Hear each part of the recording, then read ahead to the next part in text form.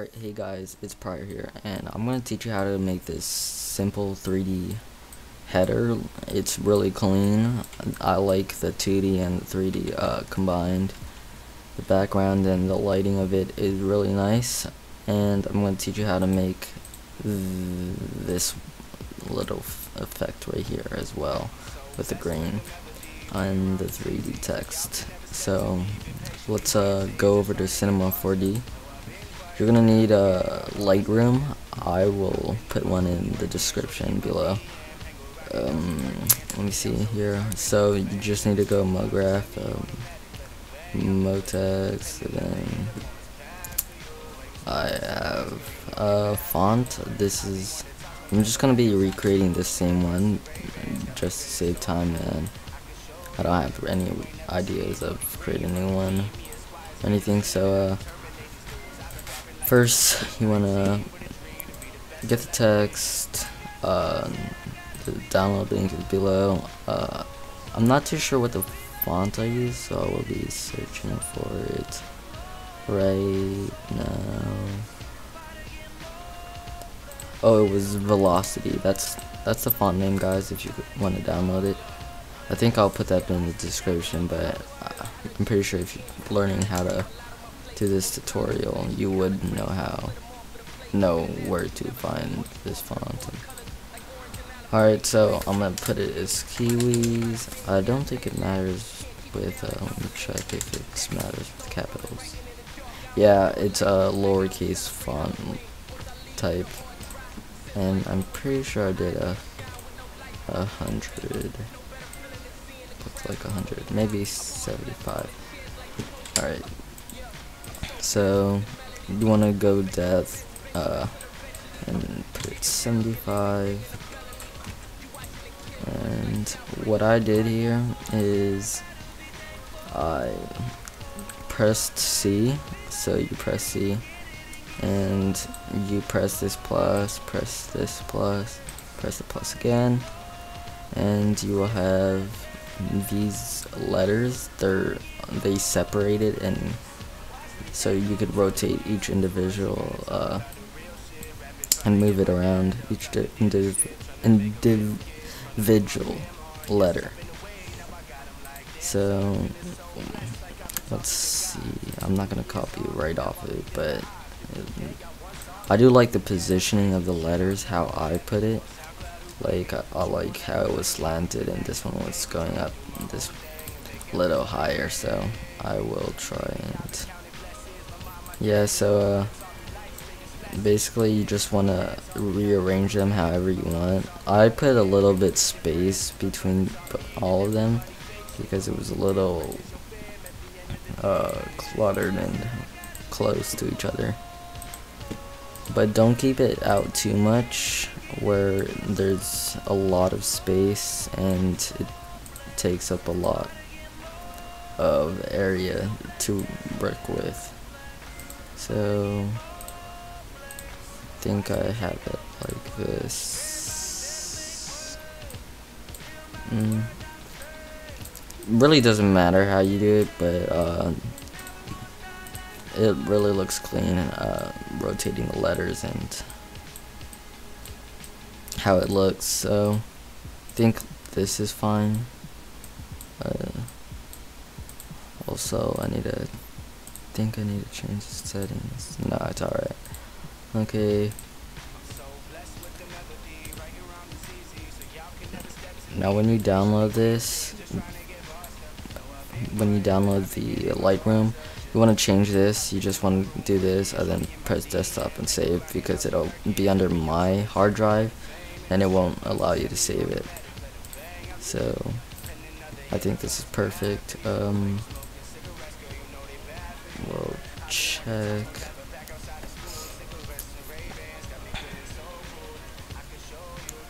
Yeah, I think this is fine. Uh, yeah, I like this. Looks good. Um, maybe a little closer in here. And, and not this. Yeah, okay. Yeah, that is perfect. Um, I don't really mind for it uh, I just really want to fix the spacing and have it where it's supposed to be. So let that render out. Okay, so um, if you've never created a Twitter header, but I'm pretty sure everyone has, if you're watching this video and you want to design yourself, it's uh, 1500 by 500, and I put it 300 uh, for the resolution because I find it best at that. So we'll press OK. Mm, we'll have the same background color as this one, so I think. So here's the color, here's the RGB, if just in case, if you guys wanna copy the same color. So, mm, let's go here. So, we want to make uh, this background. We want to open up our text here. This is the this is the other one, and this is the actual one. So that's these are the difference between both of them. They're basically the same thing. Look, it's about it right. Uh, and sort of this is uh, it's okay. I like this one more, but this is the one we just created, and all of the headers are 2.5, which is the center, and 1.66, so that's around 8.3. There we go, and you wanna just size it down a little. Not too sure about the. I don't like how the look of the. Think I will fix that. I'm pretty sure I could. But anyways, um, so we'll just put it down a little. On here, where's okay? So we're just gonna move this over here. It's the same thing, anyways. If you want um to make this same exact logo, not make it, but like the same effects, here I'll go through them. So here's the effects. You could just pause it. There, there there alright so really I just put a a little thing right here oops there alright so for this shading of like the to make it a little darker on the sides I did a little light right here here's the color code and the RGB 2020 So I just want to do this and then have the same thing on the other side. So basically like that. Um, you want to convert smart up. Uh, then you don't need a rasterize, but it doesn't matter. And uh. Wouldn't really call it shadow, but you know, it doesn't matter.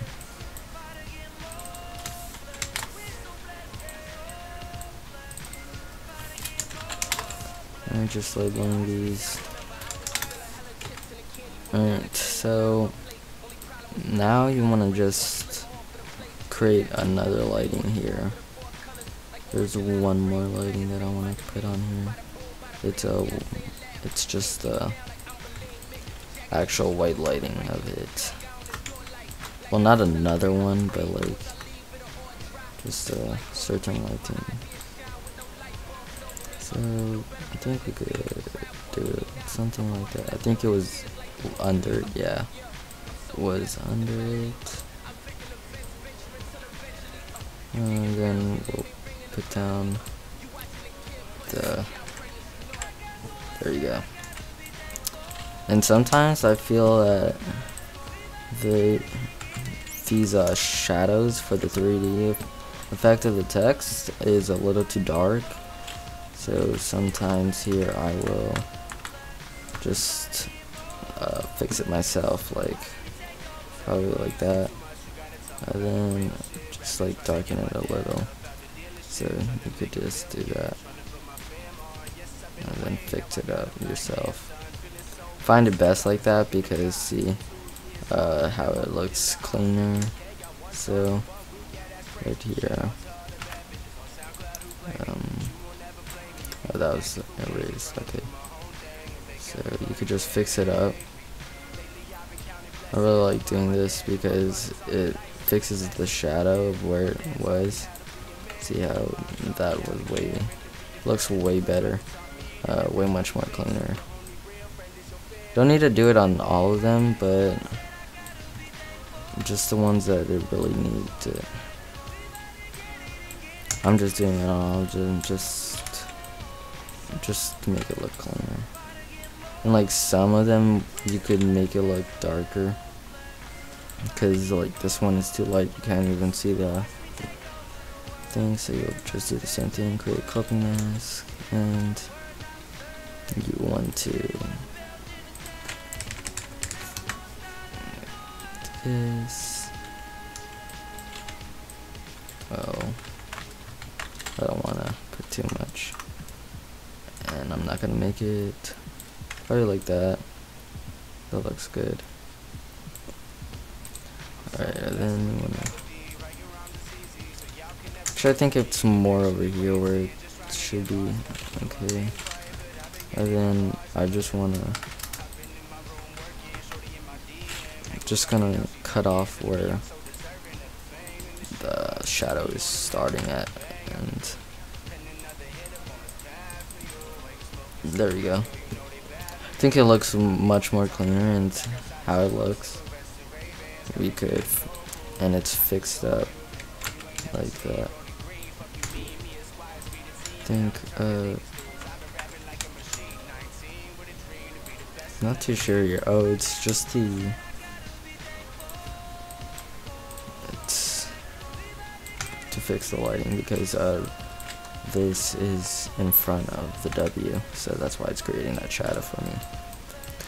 But anyways if you want to create the little effect you have here right that green uh, wavy bar and I'll make the shadow as well after so you just want to get the pen tool you want to not you don't you want to create a clipping mask for it but not yet until you actually make a shape with the pen tool so we'll just don't matter I don't even name it so you really just have to do that. It's not that hard. I don't find it hard. But you don't want to have it to where like it's like this. So I'll just show you how there's like a little uh, gap here and it's like almost not even round. It's a sharp point. You don't want to make it like that. So you have to have a pen tool do it naturally. So like it's hard, but you know, it's not very hard, but uh, might take a couple tries. And if you don't know how to uh, do it, you could always just uh, take off of mine, which is this one, and you could just drag it over to yours. Don't matter. But you just wanna create like that.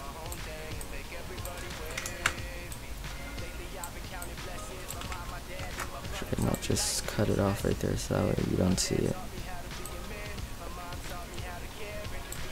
Actually, I think that's going up too high.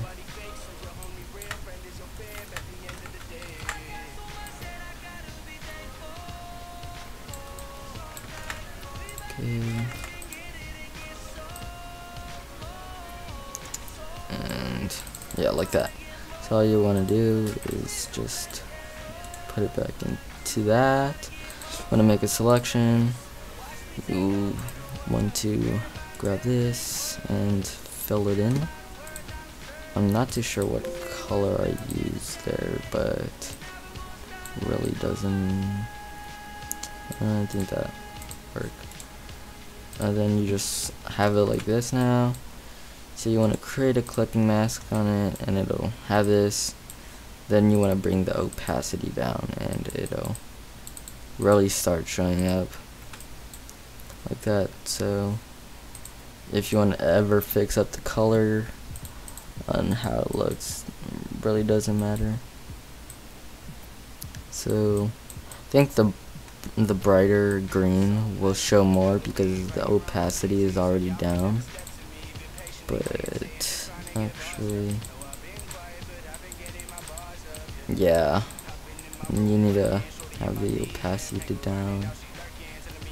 And you'll have the same effect like I like this one a little bit more how I did it just because it's uh bigger waves. The curves are really much more deeper but you could fix that. This was just for tutorial.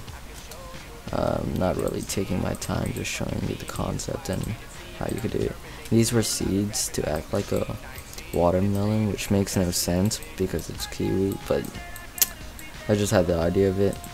So create the I'm not too sure how I created the shadow for this one because I create shadows differently uh, a lot of times depending 3D etc um, I think I might have uh, duplicated because there are a lot of ways to make a shadow for text so I could have done this.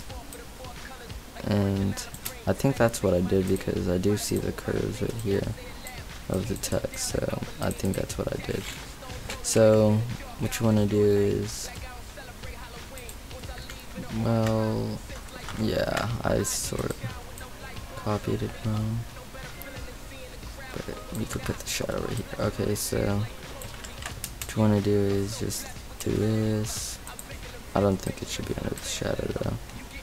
That. And you want to put a color overlay on it. And you want to lower the opacity yeah, like that. Hmm, I think I did it like this, yeah, this way. No, I might have done it this way. Then you just want to grab your eraser and just do that. You want to go down a little. Nah, that's not the exact way I did that shadow. It could have been another way too. Uh, maybe I've done it like this. Mm. And then I just like showed like little. I could have done it like that too. But I'm not too sure. Does look good either way though. It looks like a reflection for this though. But anyways, uh, if you enjoyed the video, uh, like, comment, subscribe, do all that. Uh, follow me on Twitter. I'm most active on there.